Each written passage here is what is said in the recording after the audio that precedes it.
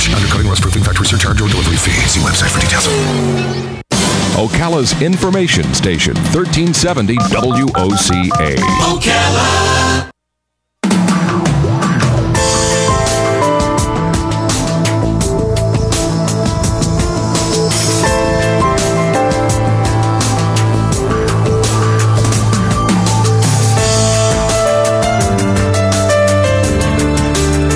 25 minutes before 10 o'clock. Thank you for tuning in this Thursday morning. You know what is a good feeling, Robin? A really good feeling that you probably can relate to.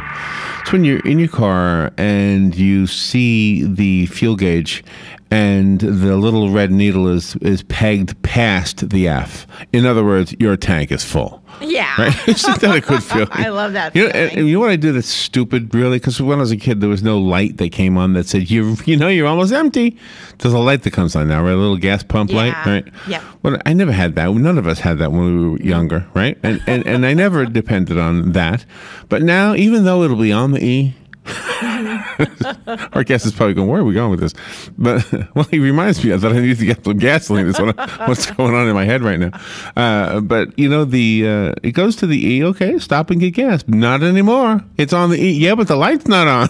That's right. Exactly. I can go a little farther. That's the way I Not a good idea. I did that this morning, and and the light came on. I said, "Wow, I think I can get to work." Mhm. Isn't that crazy to even depend on that? Yeah. Uh, all right, our next guest has been with us before. Ned Bowman is the Florida Petroleum Marketers and Convenience Store Association. Well, he's with them. He's not the association, but he's with them. He's up in Tallahassee, I think. He's going to talk to us about, I think, a polling, uh, I guess, a survey that was released yesterday by the Partnership for a Better Energy Future, which is a coalition of 175 members representing nearly every segment of the economy in the in this country finds that voters in Florida and nationwide have major concerns about the EPA's proposed greenhouse gas regulations and are unwilling to pay even a dollar more for energy in exchange for these new rules. I just read that paragraph, but I wanted to read it. I think it's important because it, because it came out yesterday. So let's say good morning to Ned and and uh, see how his gas gauge looks. Good morning, Ned. How you doing? I'm doing great, Larry. Hi, Robin. How's your how's your gas looking? Uh, I think I drive like you, Larry. It's, uh, you wait till the light goes on. By the way, aren't all gas stations now convenience stores? Um, in ninety-nine percent of the uh, uh, gasoline sold in the state of Florida is sold through convenience stores. Yeah, I don't. I can't think of one. That's that's a, an old fashioned garage slash gas station. I can't think of one. Mm-mm. There, there's a couple left, Really, really. not that many. Well, up that- through the panhandle. That's okay because I like getting coffee and gas at the same time. So, uh, well, thank you for being on the air with us. Yeah, this report. I, I had a message on my phone this morning. I'm so glad Robin got this email because I forgot to tell her about the phone message, alerting me. The message alerted me to this new uh, this new report. So, does does the report surprise you? It sounds like something we probably could have guessed. Yeah, I think the the biggest issue that we see it, especially from the convenience store side, is you know we work very well with DEP, with the Environmental Protection Agency, and we think that this is just an overreach, and we think that the program should be based upon what Florida needs, not what the country needs. I don't think uh, uh, Florida really needs to implement a policy that's going to work for Connecticut or Vermont or Maine or Alaska. We need a uh, specific uh, energy policy and um, program for the state of Florida. You Okay. know, we're, we're unique. You just can't go across the border and grab power out of Texas. You know, it just doesn't work that way. Where you can do it in Nebraska, go to Iowa and get power. Okay, so fill in the blanks. What what kind of policies are they proposing uh, that we really don't need and we should be expressing a, a voice against? Uh, it- what they're trying to do is they're trying to regulate the greenhouse gas emissions, and they're trying to drop the standards. Um, and the, cost benefit of dropping the standards is going to raise the cost of the cost of electricity. So if you're paying, you know, 15 cents a kilowatt now, you, your rates are going to go up substantially. And then the convenience store side of it, that's the third largest cost that we have. So it's going to cost the increase of gasoline. It's going to cost increase the cost of the cup of coffee that you'd like to go in and get. Hmm. Uh, and we just think that the benefits, you know, um, aren't there. We think that the policy should be made by Florida specific, so that our members, um, our legislators, and our DEP officials and the governor work together and formulate a policy that makes sense for the state of Florida. Will there be job losses if this goes through? Yeah, like I said, when, every time you increase the cost of doing business in the state of Florida, uh, it's going to cost jobs. It always does. And, and, and, it's the same battle that we have every day. It's very, very competitive. Um, you know, and with the policies that have been put in, in the last four years with Governor Scott, you've seen an increase of people coming back to Florida. And we don't want to see that momentum broken down by uh, a policy that's uh, driven out of Washington, D.C. So, what do we do? I mean, I, I'm guessing there's nothing on the November ballot that would affect this, right? This is something still in the future? Yeah, this is the future, and what we're trying to do is is, is uh, educate the consumers. As you can see by the poll, you know everybody's for a, a good environment, but there's going to be a balance between what it costs uh, out of our pockets uh, to the benefit that we're going to increase. So if you if you got a real small increase uh, in greenhouse uh, gas emissions, you know, what's the cost to the consumer? What's the cost it's going to cost us? Okay. Because every time it costs us more money, it's like a tax increase. You know, we don't get a benefit out of that. So can you can you give us the details about the statement you made earlier about one third of the expenses from the uh, the the gas emissions laws? What what is that? What what do they actually pay for? we, we what we pay, you know, for our electrical costs for when you go in to fill up, you know, our pumps are run on electricity. Well, you know, our number one cost at a convenience store is labor. Number two is uh, credit card fees from Mastercard and Visa, and number three is electricity. So if our electrical wow. costs are going to increase, you know, if I think the I think last year our members paid in the state of Florida about 177 million dollars in electrical costs to run their convenience stores. Now, if you increase that ten percent, well, okay. seventeen million dollars. Wow, that is that is a big difference. Now, why why is that good for Connecticut and bad for us? Well, I think a policy that's run based on a national uh, policy that EPA is trying to put in, they're trying to balance it between 50 states. And they're trying to say that, well, this policy works in Connecticut. It may not work in Florida, but sorry, Florida's going to come along for the ride. And the same thing, you know, and I think Florida knows what they want to do much better than what is being done in D.C. I'll give you an example on the convenience store side. Um, you know, uh, about 10 years ago, uh, the Department of Environmental Protection set new regulations, and we did all double wall tanks for the state of Florida to protect the environment for gasoline stations. Right, right. Well, that policy is only in the state of Florida. It's not nationwide. But Florida knew exactly what is best for Florida. And our feeling is with this coalition is the same thing here. We know what's best for Florida, and EPA up in D.C. may know, you know, what Connecticut needs or what Ohio needs or Maine or Alaska, but they don't know what the needs are of Florida. You know, Florida is basically a, a peninsula stuck out into the Atlantic Ocean. Yeah, yeah. So, and we have that crosswind, uh, but but but that crosswind eventually carries whatever the the the the, the bad stuff is that we put out into the air, right? I mean, or or does it dissipate somehow? It, you know, it dissipates. I mean, you know, uh, there's been studies that have been done that, you know, 95% of the uh, pollution is, is created by uh, uh, naturally through plants and through um, admissions like that, like a volcano. Yeah. Um, you know, how much how much of the regulation really makes sense, and and that's where we go to Florida. I mean, the same problem we have with bringing gasoline into the state of Florida. You know, it's all barged in. We don't have a pipeline. Uh, it's all transportation in, but we know what we're doing, and we know what's best for um, the state of Florida, and that's what we'd like to see is, is a policy that makes sense for the state of Florida, not what makes sense for for the administration up in uh, Washington D.C. Okay, I, I, appreciate that you came on such uh, so soon after we had this news piece here, but uh, I, I, want to uh, allow listeners to ask you questions. Are you okay with that? Sure. All right, Ned Bowman is our guest. He is with the Florida Petroleum Marketers and Convenience Store Association. Are you in Tallahassee right now? No, I'm actually uh, I'm in Orlando. Oh, in, um, in Orlando. Okay. Okay. Uh, we do have some calls coming in, so uh, let me take a few of them and you can answer their questions. Good morning. Thank you for calling and for waiting. You're on the air now with Ned Bowman.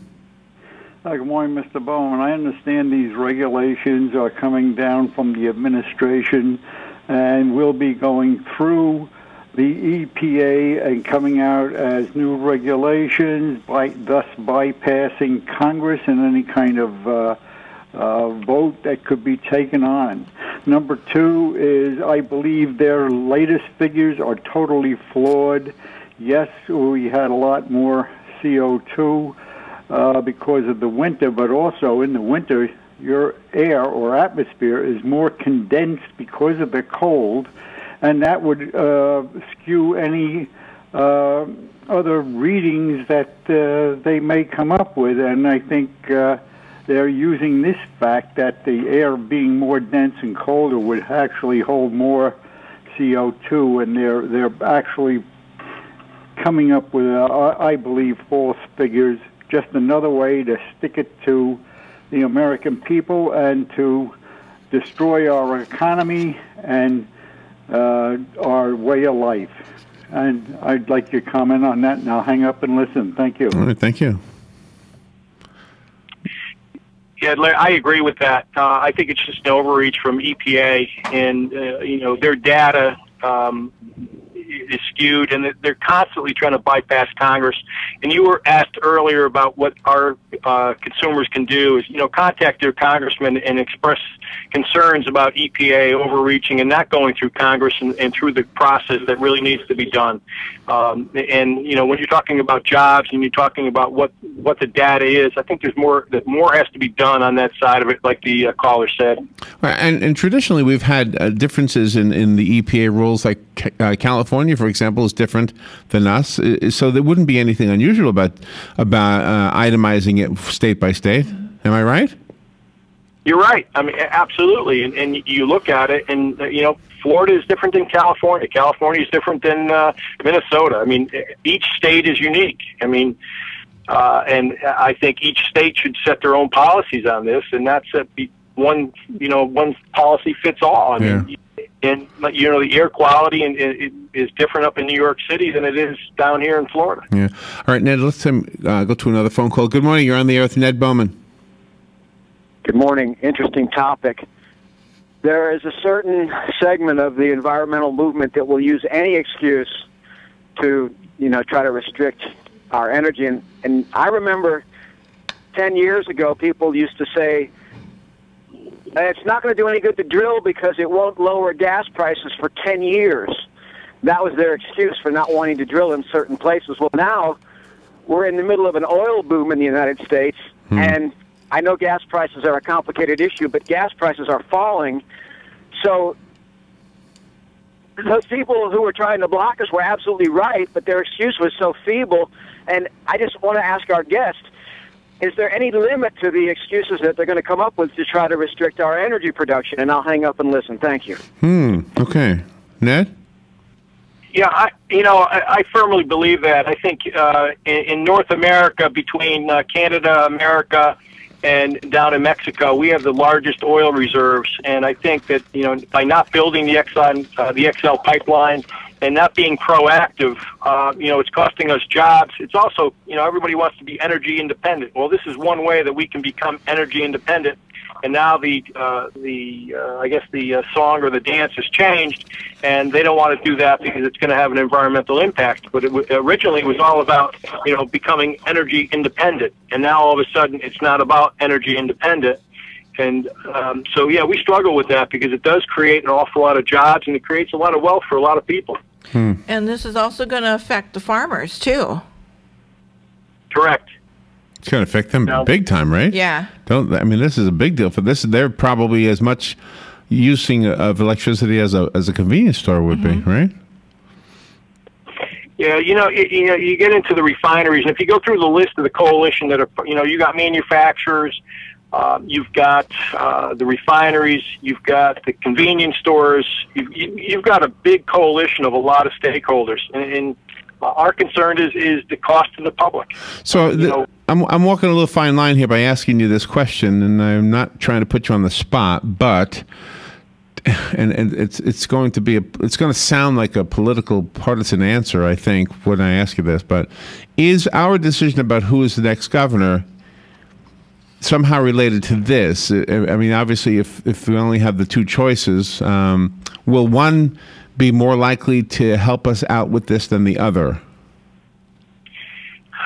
Um, I, I would I would say that the uh, dealing with the Republicans is a lot easier than dealing with the Democrats. Usually, you see that the Democrats are very uh, focused, as you can see with the administration up in D.C., uh, and they're trying to get by the Republican House up in D.C., the congressman.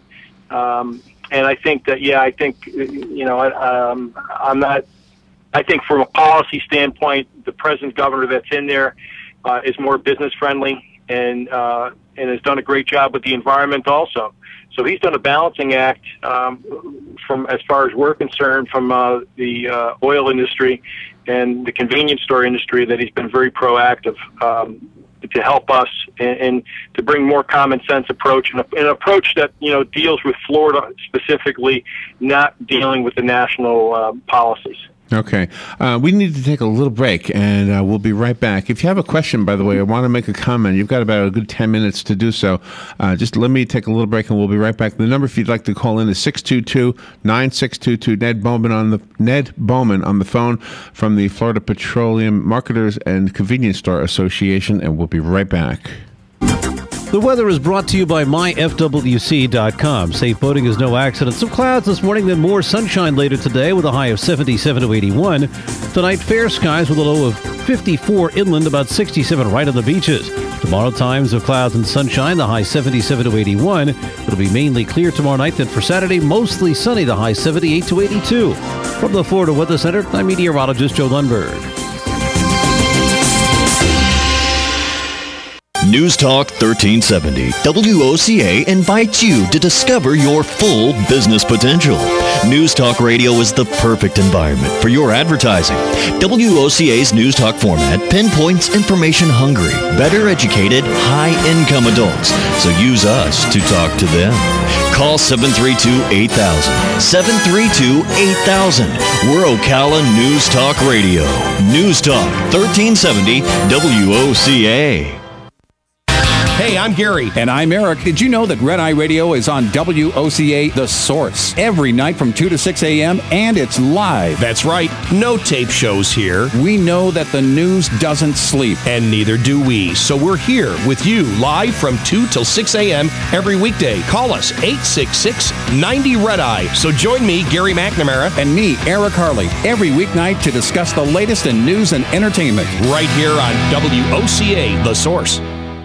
Hey, Matt, I know Sunrise Automotive does auto stuff, but I need some tires for my truck. Can you recommend someone? Uh, yes, I can. We do that. No, I mean, I need them installed and balanced and all that. Yep, yep, we do that. Well, my son needed his windows tinted. Yep, we, we do that. I need my seat replaced. Yep, yep, we do that too. I need a new roof line, and a new spoiler, and a new Yep, trunk, we can even do that too. Okay, okay, I get it. I suppose you can also do a radio show too, huh? Well, as a matter of fact, join me every Monday at 10 for auto repair with personal care here on The Source.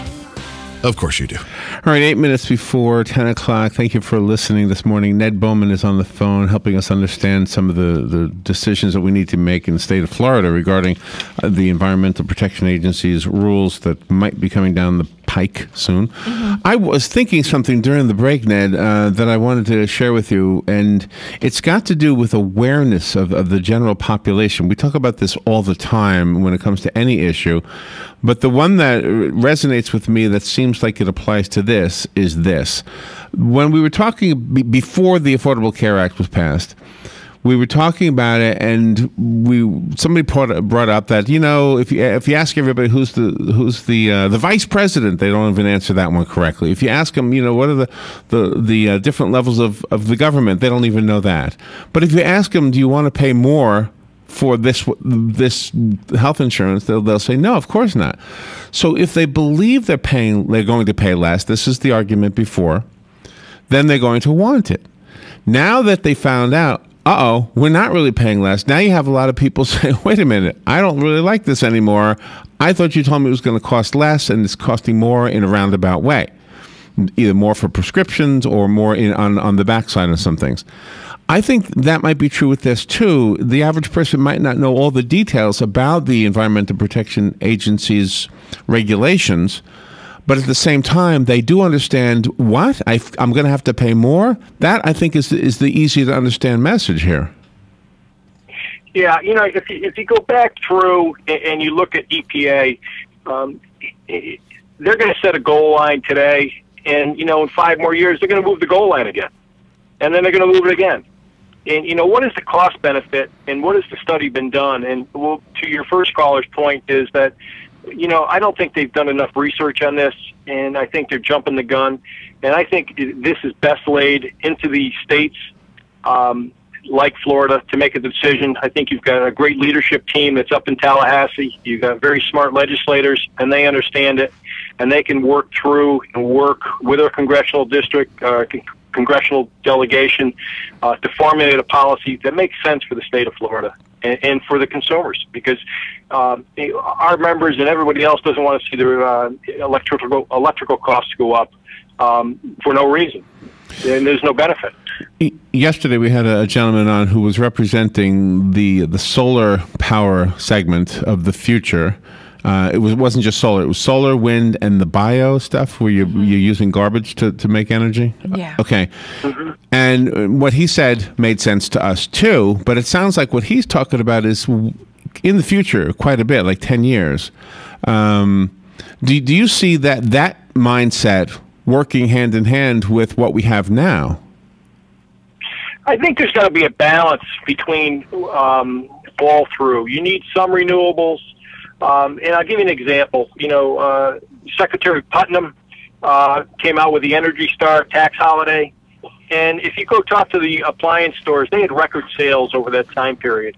And what that showed is that when you offer an incentive to consumers, they can go out and they're going to save a lot of money when you turn in a 30 year old refrigerator for a brand new energy efficient one. So that's the policy of the state of Florida. And I think there's a balance between renewable energy, um, existing energy. So if you take all of them put together, I think it makes sense. Um, but you just can't have one. You can't have one extreme and then you're going to switch switch to another extreme. It just doesn't work for a policy. But the policy's got to be set by the by Florida, not by a national uh, group. So the should should uh, President Obama get involved in this, or should he let uh, Congress and the individual states decide? I think the individual states should decide. I think that you know, uh, and also if you're going to get the data out of EPA, I think it should be vetted through Congress. I don't think that they should uh, be Well, on the debate Right. on their own. and when the president works with Congress, he is literally working with a representative from each district in each state. So, uh, so obviously, you'd have all those representatives from the state of Florida expressing what Florida's needs are. Mm-hmm. Yes. I mean, if he would work with them, I mean, the, the executive order approach doesn't seem to make a whole lot of sense in most No. cases. In, in most cases, you're right, Larry, and, and and I don't think that's the policy that should be uh, put forth. Is someone who decides in D.C. what's best for Florida? It may not be best for Florida. It may be best for Connecticut or uh, Massachusetts or Montana, but it's not best what's for Florida. And I think that's the most important thing. Is Florida. Uh, like I said, working with uh, Governor Scott and working with uh, the Secretary of DEP, um, Herschel Vinyard, uh, they can come up and formulate a policy that makes sense for the state of Florida, not under uh, EPA's gun that has to be done. Well, everybody votes, and everybody does not listen to talk radio. Um, I've said this many, many times. The folks who do listen to talk radio pay more attention to things like this than people who don't. It's just, to me, it seems like a no brainer that that's probably true. Um, and the ones who don't are usually influenced, hopefully, by the ones who do. Um, so I wanted you, if uh, as we get near the end of the conversation, if you could give us a website or something, maybe so that those who do listen, they want to share the factual information because the factual information is always a a, a great selling point. May- Maybe the poll that was re- that was referred to earlier, maybe that's available online somewhere. Sure. Uh, www.betterenergyfuture.org. www.betterenergyfuture.org. Uh, there's a lot of information that's there. It's uh, very uh, educational uh, for your listeners uh, and for the public to understand uh, what is really needed for the state of Florida and nationally. Okay, all right, and and I think some of the things you said did did address some of the uh, voting we'll be doing in November in a couple of weeks, especially the governor's race. Um, Oh, yeah. yeah. Well, thank you for what you do, Ned. Good to hear from you again. By the way, you're in Tallahassee, you're in Orlando. You know, we're right between the two. if you ever want, you can come into the studio instead of doing it on the phone. You know, I, I'm. What you may have missed. Ocala in probably about an hour, but I appreciate your time and Robin's time and uh, everything you do for the uh, state of Florida by educating your listeners. Well, we couldn't do it without you. I mean, we just have the microphone. You've got the knowledge. Ned, thank you so much for being on the air with us today. Uh, Ned Bowman, we, we will post the website that Ned gave us on our Facebook page. Thank you, Ned. Have a great day, guys. All right, thank you. All right, we will take a little break and we'll be right back. When it really counts, depend on the source for the latest weather updates, keeping you ahead of the storm. 96.3 FM, 1370 AM, The Source.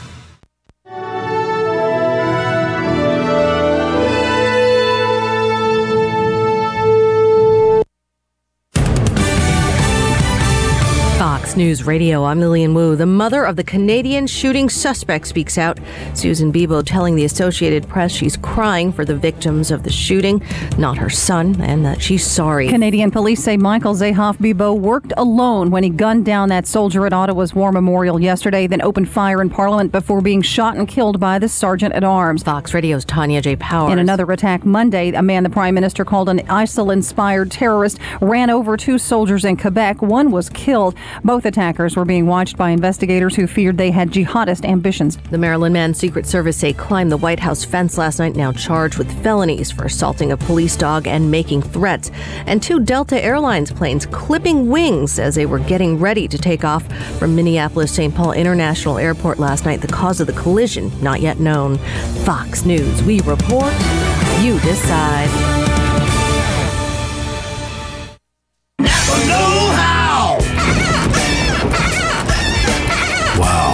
Is that an angry monkey screaming at you? Nope, it's your windshield wipers. And they're literally crying out for you to replace them. Lucky for you, Napa now has 30% off select visibility products. That's 30% off wiper blades, headlight bulbs, and more. So cut all the monkey business and conquer the job with Napa Know How. At participating Napa Auto Parts stores while supplies last. Offer expires 10 14 Pete's Parrot Emporium. Pete? Pete? How may I help you? Help! Help! Help! Be quiet. Quiet! Quiet! Quiet! Silence. Silence! If only everything in business was as easy as Wix. Wix's drag and drop website builder makes it simple to create your stunning website yourself. Just choose a design from hundreds of beautiful Wix templates and customize it however you want. Go to Wix.com today. It's easy and free. Wix.com. garden, and we've got a show for you called You've Got a Garden with your host, Master Gardener Carol Ann Baldwin. Carol Ann answers your questions about your flowers, your veggies, your grass, your trees, even questions about your bugs. And she's only on WOCA, so don't miss Carol Ann Baldwin and You've Got a Garden each Tuesday from 9 a.m. to 10 a.m. right here on WOCA The Source. News Talk 1370. WOCA invites you to discover your full business potential. News Talk Radio is the perfect environment for your advertising. WOCA's News Talk format pinpoints information hungry, better educated, high income adults. So use us to talk to them. Call 732 8000. 732 8000. We're Ocala News Talk Radio. News Talk 1370 WOCA. Hey, I'm Gary. And I'm Eric. Did you know that Red Eye Radio is on WOCA The Source every night from 2 to 6 a.m. and it's live? That's right. No tape shows here. We know that the news doesn't sleep. And neither do we. So we're here with you live from 2 till 6 a.m. every weekday. Call us 866 90 Red Eye. So join me, Gary McNamara. And me, Eric Harley, every weeknight to discuss the latest in news and entertainment. Right here on WOCA The Source. Hey, Matt, I know Sunrise Automotive does auto stuff, but I need some tires for my truck. Can you recommend someone? Uh, yes, I can. We do that. No, I mean, I need them installed and balanced and all that. Yep, yep, we do that. Well, my son needed his windows tinted. Yep, we, we do that. I need too. my seat replaced. Yep, yep, we do that too. I need a new roof line, and a new spoiler, and a new Yep, trunk. we can even do that too. Okay, okay, I get it. I suppose you can also do a radio show too, huh? Well, as a matter of fact, join me every Monday at 10 for auto repair with personal care here on The Source. Of course you do.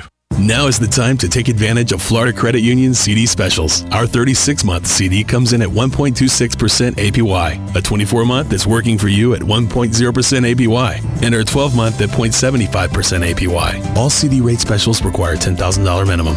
With friendly service and rates like these, it's not hard to see why Florida Credit Union has your CD options covered. Florida Credit Union.